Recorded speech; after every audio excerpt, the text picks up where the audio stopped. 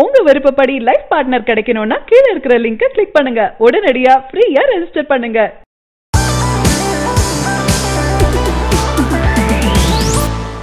அட்லி இயக்கத்தில் விஜய் மூன்றாவது முறையாக நடித்துள்ள படம் பிகில் இந்த படத்தில் விஜய்க்கு ஜோடியாக நயன்தாரா நடிச்சிருக்காங்க.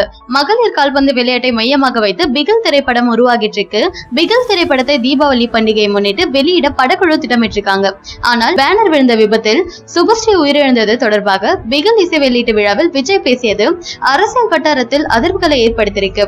இதனால் தீபாவளிக்கு படம் ரிலீஸ் ஆவது கேள்விக்குறியாக இருக்கு. பிகில் படத்திற்கு மேலும் ஒரு பிரச்சனை ஏற்பட்டிருக்கு. கேரளாவில் அதிக ரசிகர்களை கொண்ட தமிழ் நடிகர் விஜய் கடந்த ஆண்டு வெளியான அவரது சர்க்கார் திரைப்படம் கேரளாவில் வசூல் மழையை பொழிந்தது. ஆனால் பிகில் படத்தை வாங்க கேரளா விநியோகஸ்தர்கள் தயாராக இல்லை என கூறப்படுது. பிகில் திரைப்படத்தின் தயாரிப்பாளர்கள் கேரளா விநியோக உரிமையை மினிமம் கேரண்டி அடிப்படையில் விற்க நினைத்திட்டு இருக்காங்க. அப்படி வாங்கினால் தங்களுக்கு நஷ்டம் ஏற்படும் என விநியோகஸ்தர்கள் கருதிட்டு இருக்காங்க. ஏனென்றால் சர்க்கார் படத்திற்கு அதே நிலைதான் ஏற்பட்டது. இதனால் கேரளா விநியோக உரிமை முடிவாவதில் சிக்கல் நீடித்திட்டு இருக்கு. ஆனால் கேரளா தியேட்டர் உரிமையாளர்கள் பிகில் படத்தை திரையிடுவதில் ஆர்வமாக இருக்காங்க.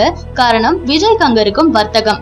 பிகில் திரைப்படம் அதிக பொருட்செலவில் உருவாகி இருக்கு கிட்டத்தட்ட நூத்தி எண்பது கோடி அளவிற்கு ஏஜிஎஸ் நிறுவனம் செலவு செய்திருக்காங்க. இந்த பணத்தை எப்படியும் எடுத்துவிட முடியும் என்ற நம்பிக்கையில் தயாரிப்பாளர்கள் இருந்துட்டு இருக்காங்க இந்த வார இறுதியில் படத்தின் வர்த்தகம் சுமூகமாக முடிந்துவிடும் என அவர்கள் எதிர்பார்த்துட்டு இருக்காங்க இதற்கிடையே பிகில் திரைப்படத்தின் ட்ரெய்லர் சனிக்கிழமை மாலை ஆறு மணிக்கு வெளியாக இருக்கு. ட்ரெய்லரை ட்ரெண்டிங் ஆக்க விஜய் ரசிகர்கள் இப்பொழுதே தயாராகிட்டு இருக்காங்க ட்ரெய்லர் மட்டும் இல்லாமல் இல்லாமல் படத்திற்கு அதிக எதிர்பார்ப்பும் நிலவுவது குறிப்பிடத்தக்கது. பிகில் படம் தீபாவளிக்கு ரிலீஸ் ஆகும் என அறிவிக்கப்பட்டாலும் தற்போது இன்னும் சென்சார் முடியாததால் ரிலீஸ் தேதி அறிவிக்கப்படாமல் இருக்கு. சரியான ரிலீஸ் தேதியை பரிசீலித்து முடிவெடுக்கப்படும் என அர்ச்சனா கல்பாத்தி அளித்திருந்த பேட்டிகள்ல கூறியிருக்காங்க. இந்நிலையில் பிரபல தயாரிப்பாளர் தனஞ்சயன் ட்விட்டரில் இது பற்றி பேசியிருக்காரு.